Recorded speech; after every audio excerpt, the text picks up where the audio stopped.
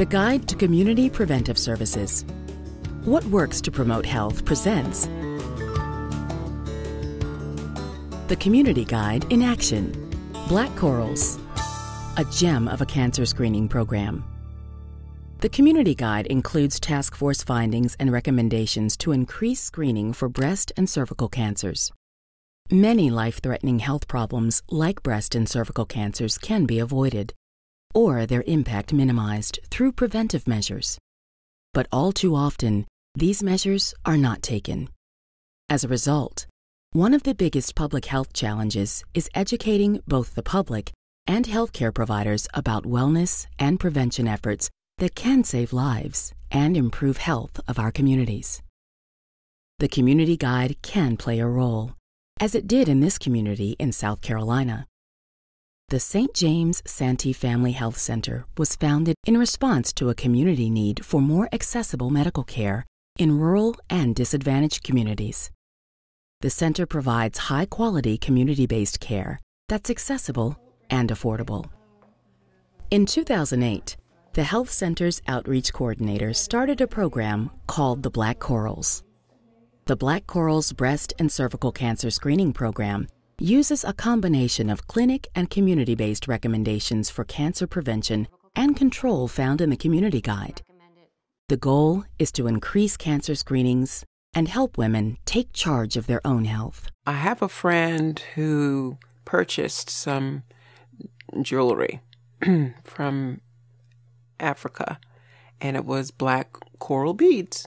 And, and I needed a name for the project. What popped into my head was those black coral beads. I thought of black f- females. I mean, we're black, we have value, it's precious.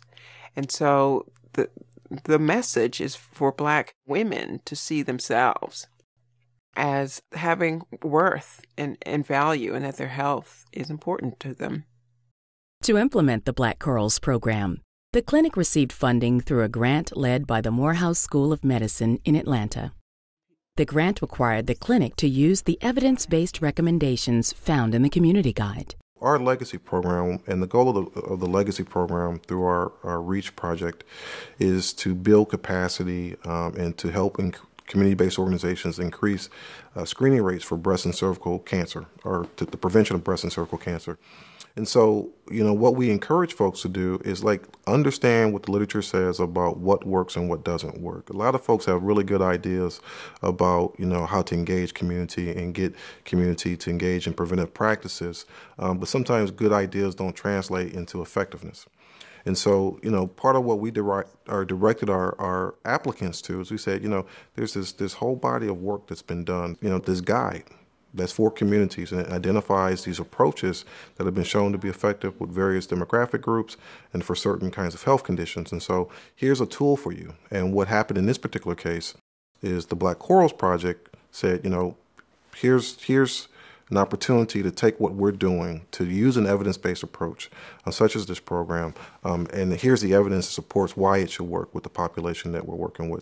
With guidance from the Community Guide and knowledge of their own community, Myra and her clinic staff were able to identify a combination of screening strategies that are making a big impact on the providers in the clinic and women in the community. You know, we try to provide certain cues for them to remind them to ask, you know, a patient about screening. The task force recommends reminding healthcare providers when it's time for a patient's mammogram or pap test. The team began inserting red folders into clients' medical charts to alert busy providers to discuss the need for a mammogram or pap test with their patients. Well, one thing was sometimes we were missing people. They'd come in for a cold, and we wouldn't realize this is a woman that really needs to be screened for breast and cervical cancer um, as well. And that might be something that the clinician would overlook because they weren't thinking about that at that visit. So these red folders were um, a way Myra came up with to prompt uh, the, the clinicians here and the providers so that when we saw a red folder in the in the chart, even if they were here for a cold, we could um, say, okay, well, you are of age, we have this program, you're eligible, and we're going to get you in for your breast and cervical cancer screening. And it just prompted us to, to get that done more efficiently. Over time, by doing, you know, the workshops and um, the, the, bracelets and the mugs and the pink bags, um, it's kind of caught on. It's really caught on. And we've had several of the churches who have asked if they can do the program in their churches with their women, and um, it's been it's been good.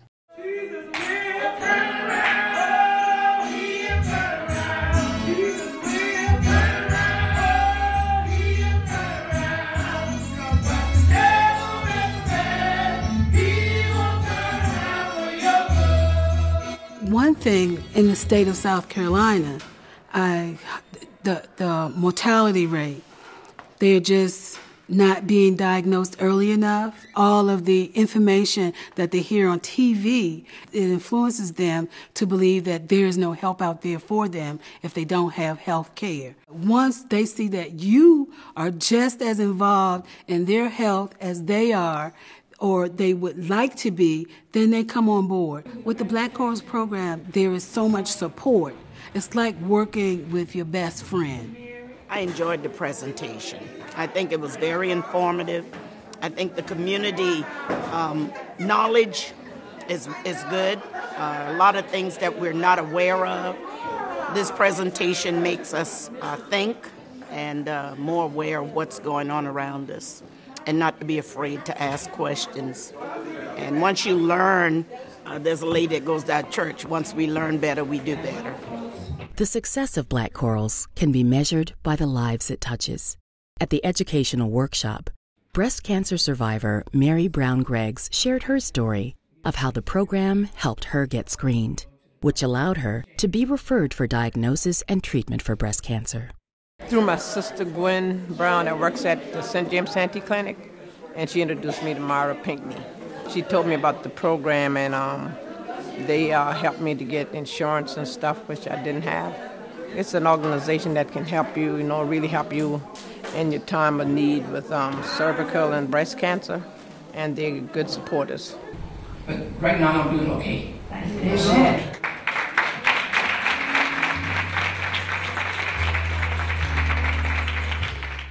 It just feels good that we were able to identify these cancers and to uh, uh, identify them early.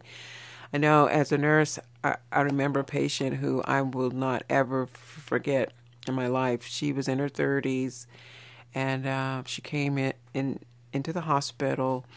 She had stage four breast cancer with METS, and her ch- children were at the bedside the evening she died. And um, the wailing and the crying and things like that. And I was like, God, if there's anything that I can do to prevent that from happening, I will do it. And um, here it is. Here's the chance to do it. The St. James Santee Family Health Center in McClellanville, South Carolina, used these task force findings and recommendations on cancer prevention and control reducing structural barriers and client out of pocket costs, client reminders and client incentives, group education and one on one education, small media and mass media, provider assessment and feedback, and provider reminder and recall systems. The Guide to Community Preventive Services is an essential resource for people who want to know what works in public health. It provides evidence based findings and recommendations from the Community Preventive Services Task Force about community preventive services, programs, and policies to improve health. The task force is an independent, non federal, unpaid group of public health and prevention experts. It bases its findings and recommendations on systematic reviews of the scientific literature. With oversight from the task force, Scientists and subject matter experts from the Centers for Disease Control and Prevention conduct these reviews in collaboration with a wide range of government, academic, policy, and practice based partners. Find out what works to promote health and safety in your community. The Community Guide includes evidence based task force findings and recommendations, systematic review methods, interventions on more than 20 public health topic areas, information on how to use the Community Guide, and more. You can also sign up to get email notices when new information of interest to you is posted. Visit the Community Guide website at www.thecommunityguide.org.